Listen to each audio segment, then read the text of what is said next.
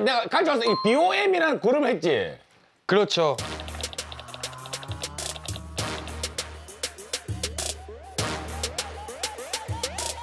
윈 하기 전에 BOM으로 먼저 한 거야? 그렇죠. 그러니까 블락비에서 그렇게 해서 합격이 됐다가 어. 계약을 해야 되는데 이제 미성년자라서 음. 이제 아버님이 오셔가지고 이렇게 하다가 그런 문제로 이제 나가게 됐는데 그 다음에 이제 간 회사가 신생 회사에 조금 제가 원하는 방향으로 할 수가 없었죠.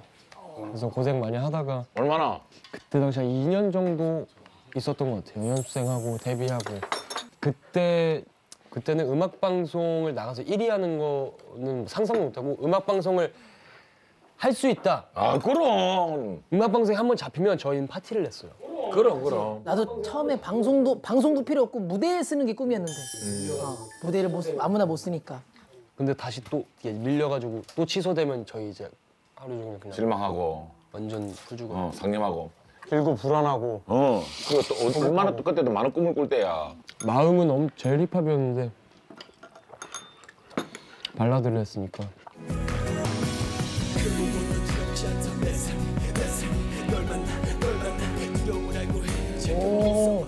야 지금과는 사뭇 다른 첫 번째 데뷔 때의 모습이네요. 1위는 꿈도 안 꾸고.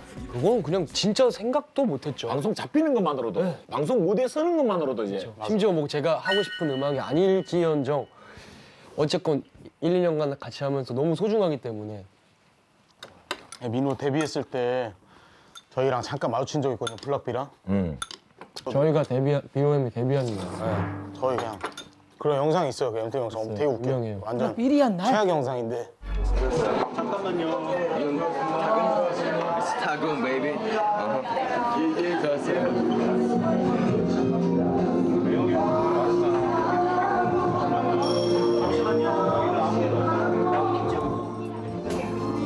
진짜 웃겨요 진짜 웃겨 네. 제 데뷔 무대를 모니터를 하는 이 블락비 멤버들의 표정과 지코 형은 눈물이 없는 줄 알았는데 거기서 막 다 난리 났죠 그냥 다 울었어요. 방송국에서. 우리 무대를 해야 되는데 울어가지고 애들이 다 눈이 이만한 거예요. 그래가지고 그 방송 무대도 못하고. 그때는 정말 그랬죠.